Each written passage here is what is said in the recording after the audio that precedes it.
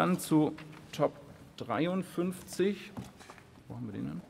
Achso, sehr schön, da ist er. Entschließung zur Einführung eines verpflichtenden Tierwohl-Labels, Antrag des Landes Niedersachsen. Hierzu liegen Wortmeldungen vor. Als erstes hat das Wort Herr Ministerpräsident Weil aus Niedersachsen.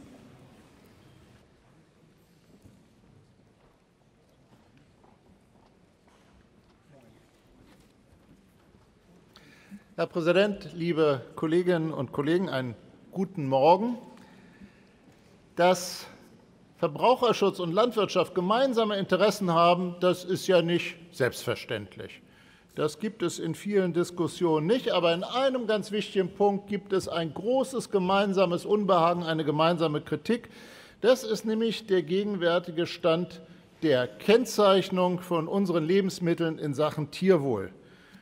Der Hintergrund ist ein wirklich, wie ich glaube, fundamentaler. Es gibt in unserer Gesellschaft eine deutlich gestiegene Sensibilität in Sachen Lebensmittelproduktion, Tierhaltung insbesondere.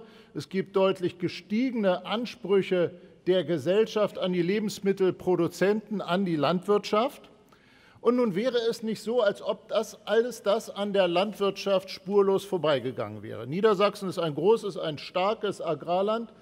Bei uns gibt es viele Betriebe, zum Teil Jahrhunderte alt, die machen sich derzeit große Gedanken darüber, wie es denn wohl weitergehen mag. Und mir sind immer wieder in den vergangenen Jahren Landwirtinnen und Landwirte begegnet, die sagen, ich habe das verstanden. Ich habe das verstanden, dass die Gesellschaft von mir größere Anstrengungen bei der Produktion erwartet, dass sie mehr Tierwohl insbesondere erwartet. Und ich möchte auch, dass meine Kinder einmal meinen Hof übernehmen und dass sie stolz sind auf das, was ihre Familie tut.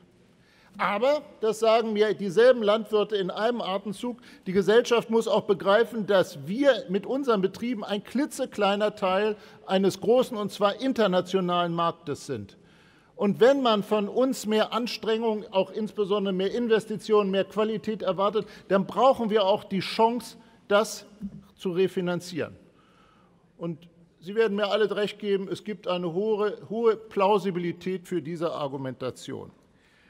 Nun haben wir seit nicht wenigen Jahren inzwischen Tierwohl-Label. Die sollen uns Verbraucherinnen und Verbrauchern etwas darüber sagen, unter welchen Bedingungen die Produkte entstanden sind, die wir da denn kaufen.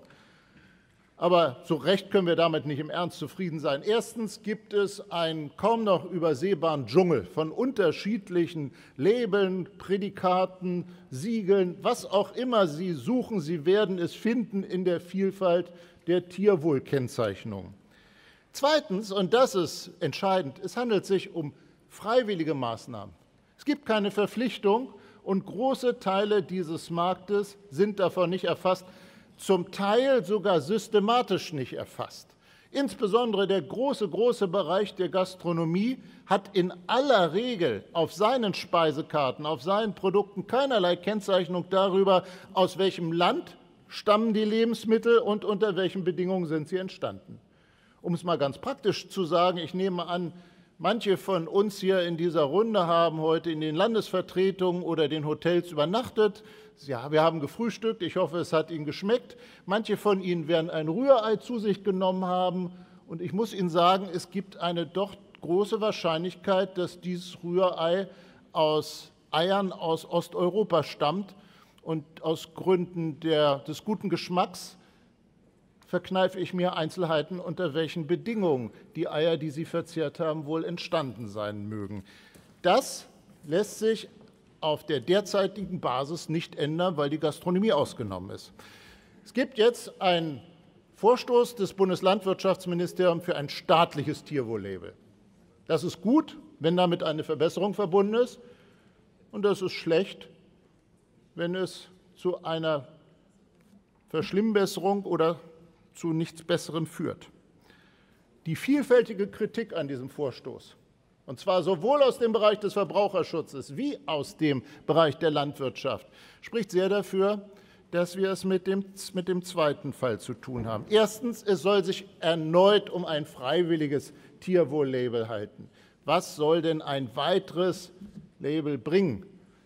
Zweitens, Es werden sogar noch höhere Standards zugrunde gelegt, zum Beispiel noch höhere Standards gegenüber der Initiative Tierwohl, dem ersten halbwegs erfolgversprechenden Versuch, insbesondere auch aus dem Lebensmitteleinzelhandel, aus den großen Marktteilnehmern dieser Branche heraus, auch Produkte zu kennzeichnen und eben auch zu refinanzieren. Das, was jetzt in der Diskussion ist, das führt zu einer weiteren Verteuerung von zwischen 9 und 36 Prozent, zum Beispiel bei der Schweinehaltung. Und vor allem, und das ist ein wichtiger Teil der Kritik, ohne dass es irgendwelche Aussagen zur Refinanzierung gibt. Was ich damit sagen will, dass die berechtigte Kritik von Landwirtinnen und Landwirten, die ich zitiert habe, im Grunde an diesem Punkt noch einmal auf die Spitze getrieben wird. Und das kann es nun wirklich nicht sein. Wir können nicht darauf vertrauen, dass es der Markt schon richten wird. Es gibt nun einmal die Interessen des ja, auf sich wenige große Unternehmen konzentrierenden Lebensmitteleinzelhandels, ja, dass man das macht, was der Verbraucher akzeptiert. Und wenn keine weiteren Regeln dazu kommen, dann wird es eben so kommen, dass wir nach wie vor große Fleischmengen zu relativ niedrigen Preisen kaufen können, ohne dass an irgendeiner Stelle wirklich klar wird, was eigentlich dahinter steckt. Und wenn ich dann noch dem Vernehmen nach davon ausgehen kann, dass man offenbar 70 Millionen Euro Steuergeld in die Werbung für ein solches Lebensmittel, Label staatlicherseits als Werbung einsetzen will, na, dann wären die Fragezeichen noch viel größer. Ein staatliches Tierwohl-Label ist richtig, aber es muss verpflichtend sein. Es muss für alle Sektoren, es muss für alle Marktteilnehmer gelten. Es muss Klarheit schaffen über Haltung und Herkunft von Lebensmitteln. Es muss alle Sektoren erfassen und vor allem muss es auch als Basis haben eine Verständigung darüber, wie das berechtigte Anliegen von Landwirten zur Geltung kommen kann. Wenn wir mehr leisten, dann müssen wir auch eine Chance auf ein höheres Entgelt haben. Es ist richtig, für einen solchen Vorstoß ist, besteht eine Notifizierungspflicht bei der Europäischen Union. Das müssen wir aber erwarten von der Bundesregierung, dass sie diese Anstrengungen unternimmt. Das ist im Sinne der Verbraucherinnen und Verbraucher in unserem Lande. Es ist auch im Interesse unserer Landwirtschaft. Und es gibt uns ein Gefühl dafür, was wir ja noch in diesem Jahr in vielfältiger Diskussion haben werden. Wenn sich unsere Gesellschaft verändert, wenn sich neue Aufgaben stellen, dann müssen wir auch das Ziel haben, die berechtigten Interessen aller Bereiche in unserer Gesellschaft zusammenzubringen. Ein staatliches, verpflichtendes Tierwohl-Label wäre dafür der richtige Ansatz. Herzlichen Dank für Ihre Aufmerksamkeit. Als nächstes hat das Wort Herr Parlamentarischer Staatssekretär Fuchtel aus dem Bundesministerium für Ernährung und Landwirtschaft. Herr Präsident, meine Damen und Herren! Zunächst möchte ich die Zielrichtung des heute vorliegenden Antrags begrüßen. Es ist positiv, dass Niedersachsen unseren Vorstoß für mehr Tierwohl grundsätzlich unterstützt und die Einführung eines staatlichen Tierwohlkennzeichens begrüßt. Uns verbindet das gemeinsame Interesse das Tierwohl in unseren Stellen zu steigern, den Verbrauchern mehr äh, Transparenz und neue Möglichkeiten beim Einkauf äh, von Fleischwaren zu geben.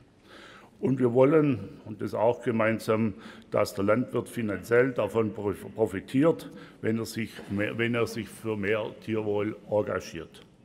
Die Forderung nach der sofortigen Einführung eines verpflichtenden Kennzeichens ist für die Erreichung dieses Ziels zurzeit allerdings nicht hilfreich.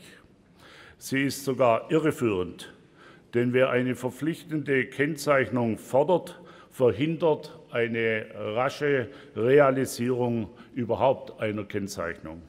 Aufgrund der rechtlichen Schwierigkeiten bei der Einführung einer verpflichtenden Kennzeichnung wird es auf unabsehbare Zeit keine Verbesserung in der Tierhaltung über dieses Instrument geben können. Sie können davon ausgehen, dass unser Haus sich da sehr, sehr intensiv damit auseinandergesetzt hat. Lassen Sie mich das etwas konkreter erörtern. Zunächst müsste ein neuer Gesetzentwurf gemacht werden. Das würden wir natürlich schaffen. Aber es geht dann um die Notifizierung und hier liegen die Probleme dann im Detail und sind nicht mit einem Hinweis äh, wegzuwischen, äh, dass äh, die Bundesregierung das natürlich in Brüssel alles erreichen kann. Das kann man erreichen. Es geht aber um die Zeitschiene und um den Einstieg und das ist hier das ganz besondere Problem. Eine verpflichtende Tierwohlkennzeichnung würde den Kontrollaufwand deutlich steigern und müsste durch einen hohen Mehraufwand für die Länder staatlich realisiert. Und, meine Damen und Herren, und da haben wir genügend äh, Gelegenheit, das in der täglichen Praxis auch zu sehen, wie das gar nicht so einfach ist, kontrolliert werden, und zwar von den Ländern, meine Damen und Herren. Eine verpflichtende nationale Kennzeichnung kann zudem die Notifizierung realistischerweise nur erfolgreich durchlaufen, wenn ausländische Unternehmen nicht zur Kennzeichnung verpflichtet werden. Gleichzeitig müsste aber auch äh, rechtliche Rahmen- und Kontrollbedingungen geschaffen werden, die einen Zugang zur Kennzeichnung für ausländische Hersteller gewähren. Eine recht komplexe Sache, die im Notifizierungsverfahren dann sicher langwierige Klärungsprozesse durchlaufen wird. Und warum das Ganze? Weil äh, das Kennzeichen darf aus europäischer Sicht nicht zur Marktabschottung dienen. Die EU achtet, wie wir aus anderen, äh, anderen Vorgängen wissen, intensiv auf die Einhaltung gerade dieser Grundsätze, meine Damen und Herren. Wenn man nun beim Tierschutz tatsächlich schnell weiterkommen möchte, geht es nur durch den von uns gewählten Einstieg über eine freiwillige Kennzeichnung. Dies gilt auch für die Frage der Herkunftskennzeichnung. Im Gesetzentwurf haben wir eine freiwillige Herkunftsangabe äh, daher als in der Grundlage auch entsprechend angelegt und vorbereitet.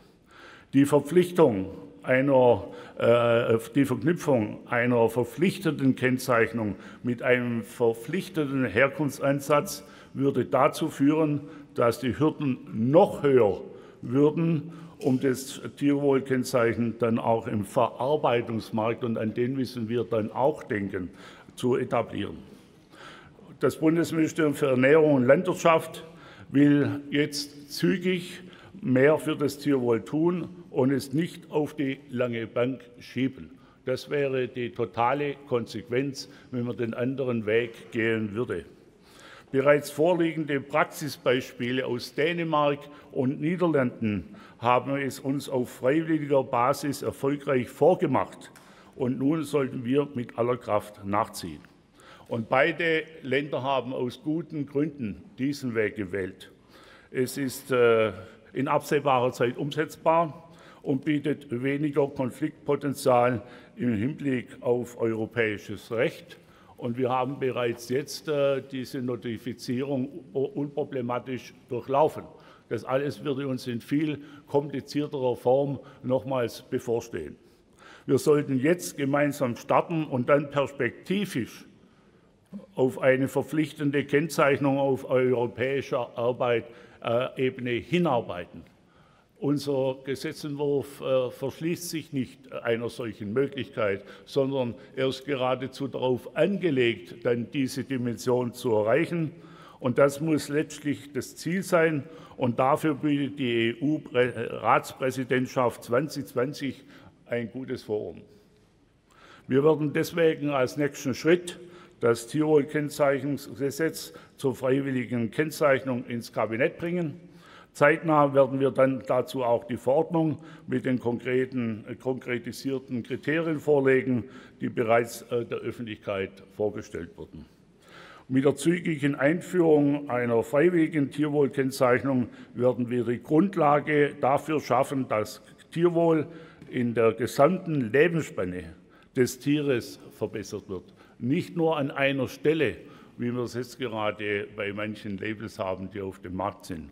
Nämlich vom Ferkelbereich über den gesamten Spektrum der Mast, den gesamten Transportvorgang bis zur Schlachtung. Es wird eine komplette Lösung geben, meine Damen und Herren. Das Kennzeichnen wird den Verbrauchern eine bessere Orientierung geben. Sie können jetzt erkennen, in welchen Produkten dieses Mehr an Tirol steckt und dieses dann auch finanziell honorieren.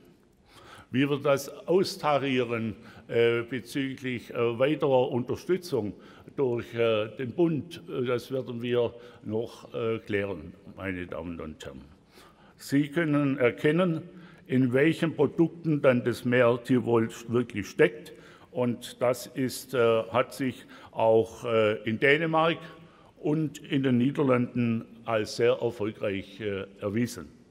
Somit werden die Landwirte einen stärkeren Anreiz haben, mehr in das Tierwohl zu investieren und sie dürfen damit werben und können von den erhöhten Zahlungsbereitschaften profitieren. Also zusammenfassend, wer zügig mehr Tierwohl in Deutschland realisieren will, und ich bin davon überzeugt, das wollen wir alle, muss unseren Weg der freiwilligen Kennzeichnung als ersten wirksamen äh, Schritt unterstützen. Vielen Dank für die Aufmerksamkeit. Weitere Wortmeldungen liegen nicht vor. Dann weise ich die Vorlage den Ausschüssen zu, und zwar dem Ausschuss für Agrarpolitik und Verbraucherschutz federführend sowie dem Wirtschaftsausschuss und dem Ausschuss für Städtebau, Wohnungswesen und Raumordnung mitberaten.